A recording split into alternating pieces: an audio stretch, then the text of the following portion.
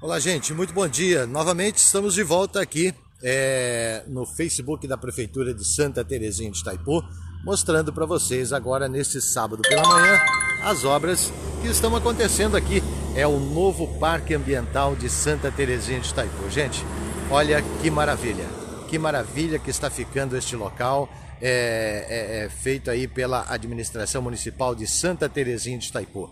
É o novo parque ambiental aqui no Parque dos Estados. É mais um local é, de encontro da família itaipuense que estará pronto em breve aí para receber os itaipuenses. Novo parque ambiental recebendo aí o parquinho, o pessoal está lá embaixo trabalhando é, nas obras, estão plantando as flores, arrumando aí o parque infantil aqui no Parque Ambiental do Parque dos Estados. Está aí?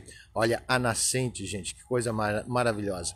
Protegida, né? Dentro dos parâmetros aí, né? Uma nascente maravilhosa, um lago maravilhoso lá na frente, você pode ver, a ponte em madeira, enfim, uma estrutura maravilhosa que está sendo montada aqui no novo Parque Ambiental no Parque dos Estados. Mais um local de lazer e de encontro da família itaipuense que em breve estará sendo entregue aí à população do nosso município. A administração do prefeito Cláudio pensando aí em todos os momentos no bem-estar e, no, na qualidade de vida da população itaipuense. Aí o parquinho infantil recebendo aí as flores, o pessoal plantando grama, é, enfim, mais um local de encontro da família itaipuense é o novo parque ambiental aqui de Santa Terezinha de Itaipu, neste sábado pela manhã, recebendo aí as obras. Olha ali, gente, academia ao ar livre, é, parquinho infantil. Aqui nós temos o lago, ali dá para você ver o lago aí, né?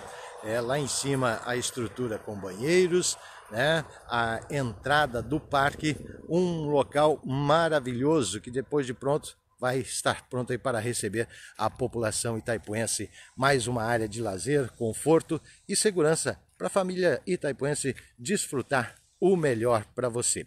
Santa Terezinha de Itaipu, nossa terra nosso orgulho.